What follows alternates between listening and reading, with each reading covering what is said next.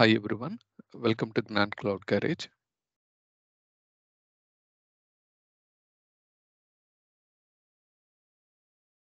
In this session, I'm going to talk about how to resolve vCenter Server 8.0 stage 2 setup error. Normally, uh, in our previous session, I explained about vCenter Server 8.0 installation procedure on VMware Workstation VM. But some scenarios, there is one of the known issue. Exactly, we have vCenter 8.0 two stages. Sta stage one is like a deploying a uh, vCenter Server appliance VM and second stage is the setup or configuration of your vCenter server. But during the stage two, there is one known issue that error is clearly says that encountered an internal error message. So to resolve this issue, there is a, some troubleshooting steps. So those steps I will explain in this session. Okay. So error messages looks like this. So normally the error resolution also they mention in the error information itself. So error message says encountered an internal error and C slash var slash log first boot VLCM lifecycle manager first boot Python script and there is a stder error dot log. So when we refer this log file, there is a some clues. And the resolution, what VMware says is this is an unrecoverable error.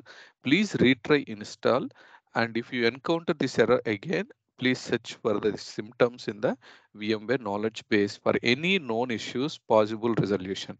If none can be found, collect the support bundle and open a support request. This is the recommended steps they given. So normally when you retry some scenarios, it may resolve. If not resolve, you can follow these troubleshooting steps. So here are the troubleshooting steps.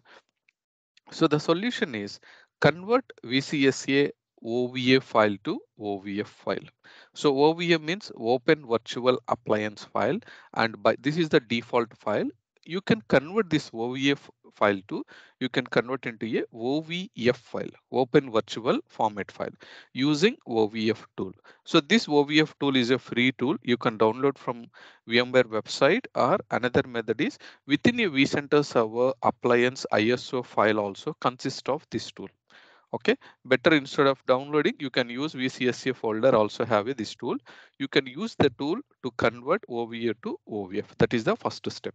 And second step is once we convert ova to ovf there is a some changes happen. We change it from a to f. So that means there is a one manifest file. Manifest means in short form dot .mf file. So delete the original vcsa OVF manifest file so that the validation will not fail due, due to our changes. So this is also part of the troubleshooting. And third step is edit the VCSA OVF now already we change it to OVA to OVF. So we call it as VCSA extension is OVF file.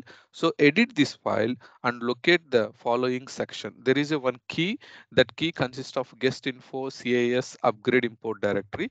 Default this path string value shows as false. But to, to resolve this issue, we have to change the value to true and save the file. Once you save, and retry the installation, installation will work smoothly.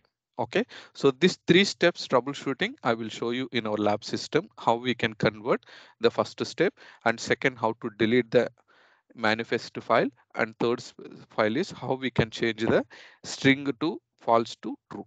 Okay, so let's start with the first point, how we can convert. Let me log into the lab system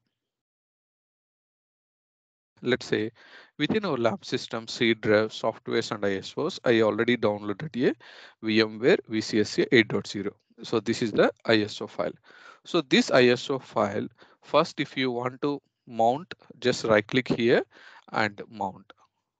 Click on open. So when we mount, if you go to the computer, this PC, you can see this VCS 8.0 is mounted. If you open this CD file, mounted file, mounted folder. You can see there is a multiple folders and there is a readme files also readme english file and also different languages. And vcsa we have separate folder and vcsa cli installer and vcsa ui installer. That means graphical mode installer. If you open graphical mode installer there is a three format. You can install linux mac and windows flavors. Even windows flavor there is a direct installer Suppose if you launch installer, this method also we can install the VCSA 8.0. And another method is you can install VCSA using a command line. That means silent installer using the command line method. And the third method is VCSA open virtual format file. This is the file. If you want to see the extensions, you can enable the extensions from here or yeah, go here, details, or else start run, control, and click on folder explore options, view, and you can select for a hide extensions. Just uncheck this option, click on apply and OK. When you see, go to the C drive, the specific uh, E drive and you can see VCSA this file extension is .ova that means open virtual appliance package and even the same VCSA folder you can see OVF tool tool also copied so this entire folder you can just copy and paste it into the local location so just copy and go to the C drive just for our easy understanding copying to the C drive temp paste but we haven't converted the OVA file to OVF format. So first before converting, I'm just copying to the C drive temp. Okay, once we copy to C drive temp, open the VCSA folder, you can see there is a OVF tool already default. It's available in our ISO. So if you open the OVF tool, again, we have a three formats, Linux, Mac and Windows flavor. Suppose if you open Windows flavor, Windows flavor folder, you can look for a OVF tool.exe file is available or not. See, there is a OVF tool.exe file is available. Okay, so how we can convert is open a command prompt. So just close this all folders, open command prompt, right click, run as administrator, and let me increase the font.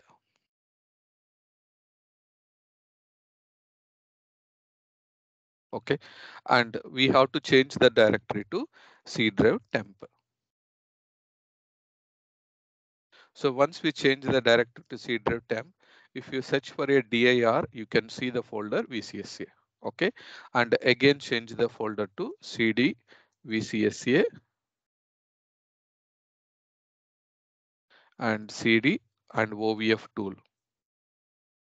So now here in the OVF tool, if you type directory, you can see the multiple locations. Let's say again, change the directory to, we can directly choose at a time one path just for our easy understanding. I'm going step by step. Okay, so now I again I'm changing the change directory to Windows 32 folder. Now if you type directory, there is a .exe file for OVF tool. So this is the file. So just copy this tool and paste it here ovftool.exe. This is the command space and our file is located in a C drive temp only. So just go to the C drive temp VCSA. Here is our actual file is located. So you can copy this path again, copy and type slash and you can just type VMware and press enter. The extension is complete is copied until the dot .ova. Now you can take a space and you can again type the path. If you want to copy to the same location, you can use or else instead of VCSA folder, I'm trying to convert into a C drive temp. So you can use the same name C drive temp.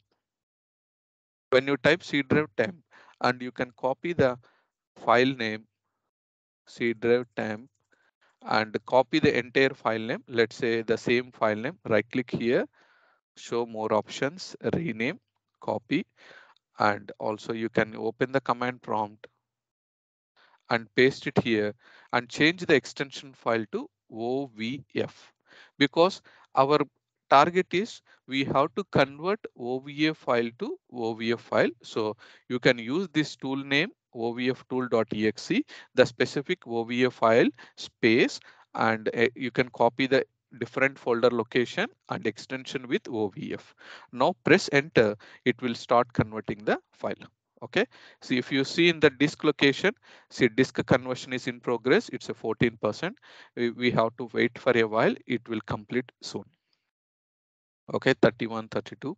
So once it reaches the 100%, the OVF extension file is copied in a C drive temp location. Okay even if you see the description here, opening the file and it's writing to the C drive temp location.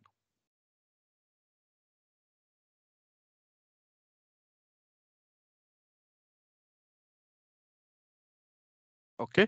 See the transfer is completed successfully and the location is you can verify from command line or you can directly go to the c drive tab and see there is a ovf file extensions are copied. These are all the ovf file.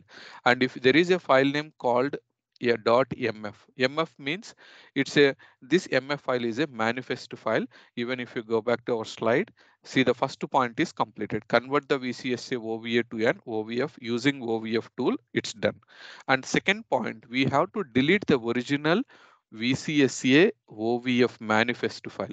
So this manifest file deletion, how we can delete is again go back to system. You can delete from graphical method or if you want to delete from the command line, again go back to previous state, let's say CD.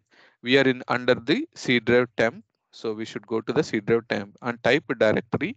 You can see all these files. So there is a manifest file is available .mf. If you want to remove, you need to type the command delete and also you can type the complete file. So just copy here and paste it here. Okay, now press enter. So again, if you want to verify, press directory, directory command, and you can see there is no manifest file. Manifest file is removed. Okay, so even if you refresh here, there is no manifest file now.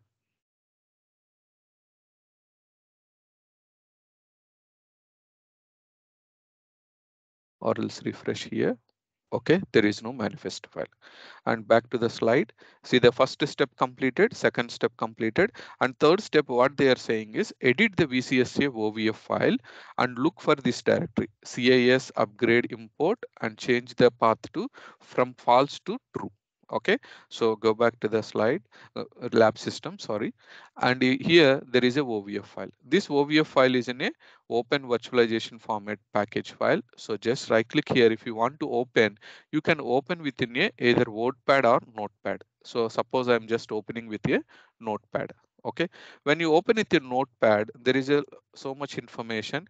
Instead of finding the scroll down and verifying better you can use a, any keyword and control f. Let's say I'm taking the keyword upgrade dot import.